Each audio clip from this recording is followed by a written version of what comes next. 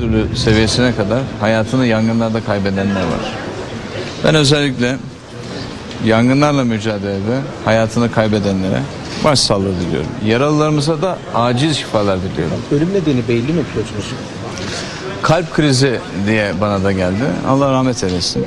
Ee, cennet mekanı olsun. Çünkü gerçekten belki son günlerinde topluma çok faydalı bir iş yaptı. Son saatlerinde çok topluma faydalı bir iş yaptı. Bir ağaç daha az yansın diye kendine belki strese koydu, streste kaldı. Ee, ve e, böyle bir sonla e, hayatını noktalamış oldu. Ama bence çok şerefli bir son. Çünkü insanlar bir bir ağaç fazlaya kavuşsunlar diye bir e, ilke uğruna savaşını verdi. Sayın Bakanım, bu Hava Kurumu'na ait uçaklarla da ilgili bir tartışma devam ediyor. Dün Sivil Havacılık Genel Müdürlüğü'nün verdiği e, iddia edilen bazı belgeler e, medyaya da yansıdı. E, son durum nedir? Yani Türk Hava Kurumu'na ait kaç tane yangın söndürme uçağı vardır? Bunların ne kadarı kullanılabilir durumdadır? Türk Hava Kurumu'nun internet sitesinde de şöyle bir ifadeleri var. Avrupa'nın en büyük yangın söndürme filosunun e, Türk Hava Kurumu'na ait olduğu e, ifadesi yer alıyor. E, ben daha önce de söyledim. Yani kim uçmak istiyorsa uçsun bunlarla. Benim Türk Hava Kurumu'na 1 lira borcum yok.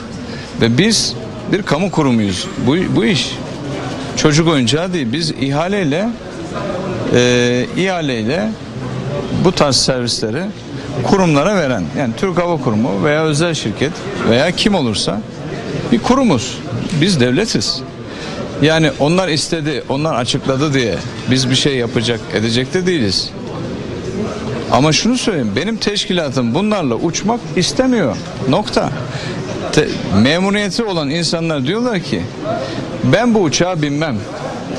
Bineceksin dendiği zaman da diyorlar ki beni memuriyetten atın ama ben gene de bu uçağa binmem.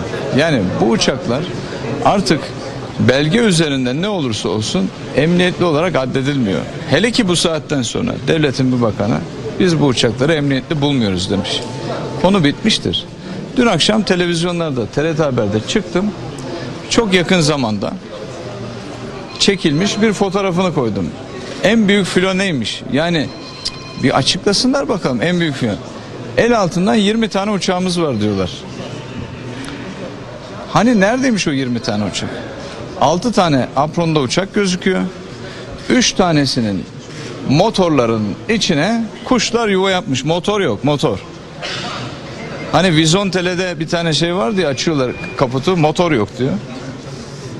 Aynı böyle yani böyle bir komik, trajikomik bir tiyatro ile karşı karşıyayız.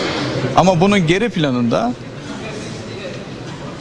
hükümetimize bir siyasi saldırı var. Yani bunu da herhalde gerekli kurumlar gerekli şekilde e, dikkate alacaktır diye düşünüyorum. Sivil havacılığın belgelerine gelince dört tane uçuşa elverişlik sertifikası gözüküyor. Ama iki tanesinin de sadece bunların kamu kurumu benzeri bir görünümü olduğu için idareten verildiği anlaşılıyor.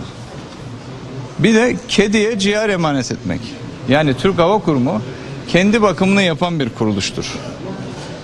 Şu anda içinde bulunduğu mali problemlerden dolayı Türk Hava Kurumu'nun uçuşa e, vermiş olduğu damgaladığı uçuşa elverişlik sertifikalarının hiçbirine ben tam tamına 30 yıllık bir pilot olarak güvenmiyorum. Ee, Bir de yangınların çıkış sebebiyle ilgili de bazı iddialar var. En büyük filo meselesine gelince iki tane uçabilir uçak var. Diyelim üç olsun. Nasıl Avrupa'nın en büyük filosu oluyor? Bakın bizim bu işleri yapmamız için biz uçağa niyetlensek bile ki bu sene niyetimiz yok çünkü 24 olan helikopter sayımızı 30'a çıkardık.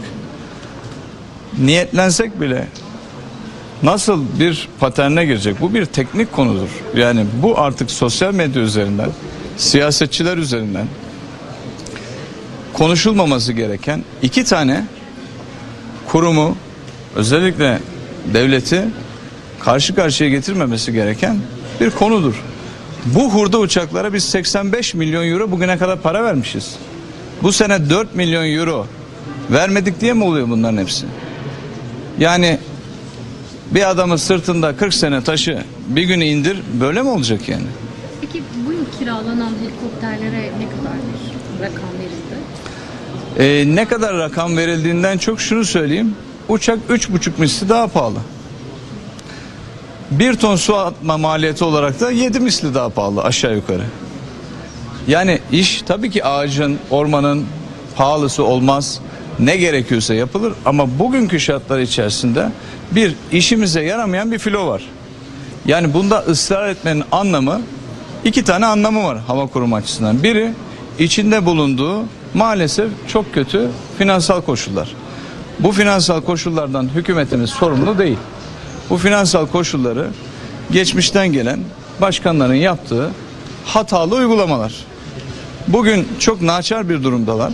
Ama bundan dolayı ya bunları alın alın alın işte bu hizmeti size verelim. Çünkü elimizde bu filo var, pilotlarımız var. Bu filoyu ayakta tutmak istiyoruz diyorlar. Almak zorunda mıyız? İşimize yaramıyor. Orman teşkilatımız uçmak istemiyor. Almak zorunda değiliz. İkinci büyük şey var. Ne yazık ki Türk Hava Kurumu siyasetin oyuncağı olmuş durumdadır. Ana muhalefet partisiyle birlikte hareket ediyor. Efendim, e, Teşekkür ediyorum arkadaşlar.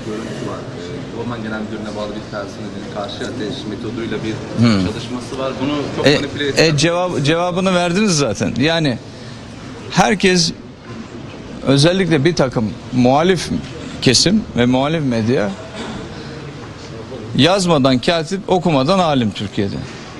Bırakın işimizi yapalım arkadaşlar. Orada arkadaşımız işini yapıyor. Bu teknik bir konu. Yani yangına yangınla müca- e, karşılık verme ve tamamen teknik bir iştir. Bakın biz Fethiye Göcek'te geçen ay çıkan yangında 150 metre kala villalara, evlere biz yangını durdurduk. Ama karşı ateşte durdurduk.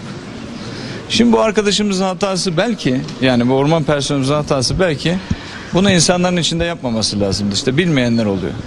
Biz o gün Sayın Muğla Va- Valimiz Esengül Hanım'ı bölgeden çektik. Gelin dedik şu tarafa gidelim arkadaşlar işlerini yapsınlar dedik. Ve o sırada arkadaşlarımız orada yangını çıkardılar. Yani bu teknik bir konu. O yüzden ben vatandaşlarımızın duyarlılığını seviyorum ama devletin üniformasını giymiş bir insan. Eğer e, üniformayı çalmış, uydurmuş, sahte bir üniforma giymiyorsa ya devlet bir şey yapıyorsa biraz da güveneceksiniz arkadaşlar. Soruşturmalarda gelinen son durum efendim orman yangınlarına ilişkin. Sebebine ilişkin Şimdi dün İçişleri Bakanımızla da kabinede bir değerlendirme yaptık. İçişleri Bakanımız son çıkan özellikle İzmir'deki en büyük yangından bahsedelim. Onunla alakalı e, bunun yani bir piknikçi yangını olabileceğini düşünüyor. Yangınların dediğim gibi aşağı yukarı yarısının sebebini bulamıyoruz. Yani bu sebepleri daha iyi bulup daha iyi araştırdığımız ve İçişleri Bakanlığı'yla e, daha yan yana yürüdüğümüz durumlarda biz bu işlerde daha fazla tedbir nasıl alınacak e, bununla ilgili gerekli adımları da atarız. Yani cezai müeyyidelerin artırılması veya bu konudaki tabii ki cezai müeyyideden daha önemlisi toplumdaki duyarlılığın ve hassasiyetin artırılmasının önemli olduğunu düşünüyorum. Yani yanan ormanların yerine yeni bir ağaçlandırma çalışması ki bakanlıkla ilgili bu Biz rakamlara- 11 Kasım saat 11'de yani 11. ayın 11'inde saat 11'de daha evvelden zaten yani bunu yangın için planlamış değiliz. Yangınlar için planlamış değiliz.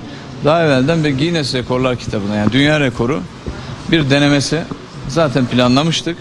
Bunu özellikle işte e, öncelikle yana alanlarda, öncelikle Ege'de e, başlatmak istiyoruz. 2 saat içerisinde rekor sayıda ağacı dikerek Guinness Rekorlar kitabına gireceğiz. Teşekkür ederim. Çok Evet teşekkürler arkadaşlar.